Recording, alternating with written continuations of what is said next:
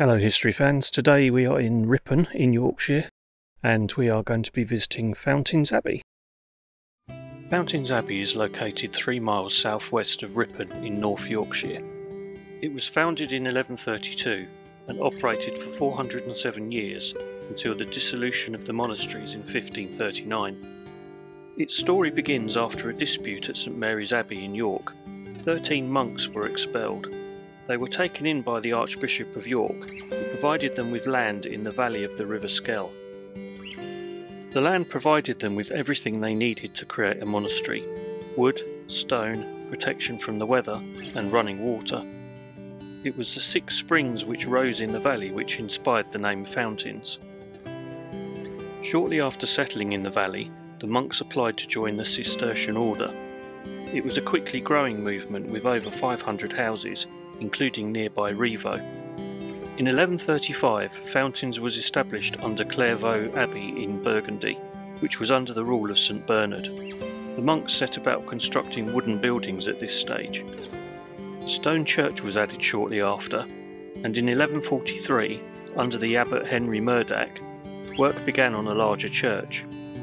Within three years, an aisled nave had been added to the stone church, and the first permanent cloister buildings were built. In 1146, an angry mob, annoyed at Murdac because of his role in opposing the election of William Fitzherbert as Archbishop of York, attacked the abbey and burnt down all but the church and some surrounding buildings. The community recovered swiftly from the attack and went on to establish four daughter houses. Later in the 12th century, an extensive building programme took place, which included the completion of repairs to the damaged church and building more accommodation for the increasing number of recruits. The chapter house and the new church were also finished. During the European famine of 1194, the abbey provided support for six months to local people in the form of food, shelter, and spiritual care. Famine was followed by the spread of disease, and the abbey helped those who needed treatment. In the first half of the 13th century, Fountains increased in reputation and prosperity. The church was enlarged, and an infirmary was built at this time. However, these fortunes didn't last.